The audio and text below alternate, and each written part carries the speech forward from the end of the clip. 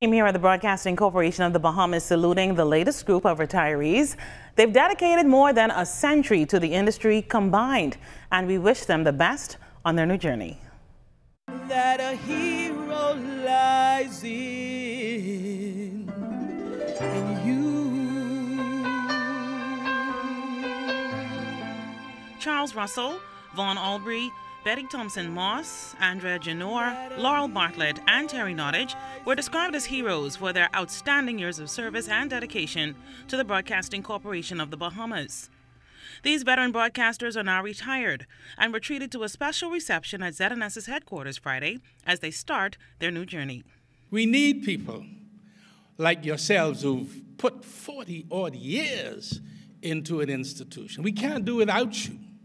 It's very important that we keep a relationship. So please, uh, remember us constantly. Let us keep the relationship. Enjoy this next phase of your lives. And again, I want to say on behalf of members of the board in particular, thank you, thank you, thank you. Don't look at it as a sad occasion. And, uh, you know, we're always a part of the ZNS family. So I'm hopeful that you can come back if, you know, you need a, a a hand or two or a reference or whatever you need, we're always here for you. And I know anytime there's a party, we always get together and uh, have a good time. They all played different roles, and they all were instrumental in the growth and development of each and every one of us in the newsroom. And so today, I salute you, Andrea Genoa, Betty Thompson Moss, and Vaughn Albury.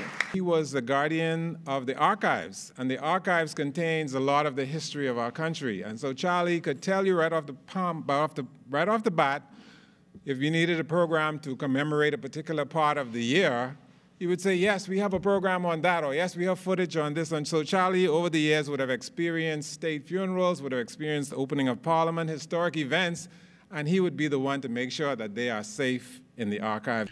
The new retirees received gifts to treasure and were presented with a special cake. They also left words of encouragement for current staff members while reminiscing on their moment in history. I would like to encourage all to manage by using the three F's be friendly, be firm, be fair. We are a special people.